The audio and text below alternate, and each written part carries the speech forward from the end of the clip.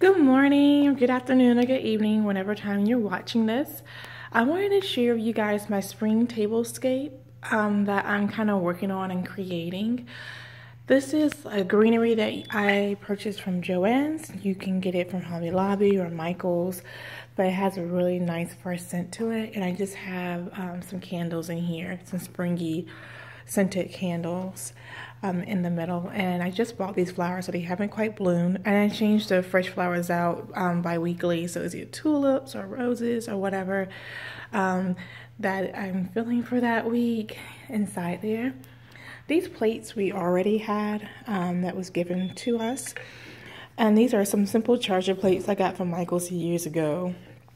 And this charger plate is actually from World Market, and I think it was maybe like a dollar or two dollars. And I already had the four set charger plates so I just needed two more. So I decided to let the head be two different silver ones versus trying to buy a whole complete set of new ones.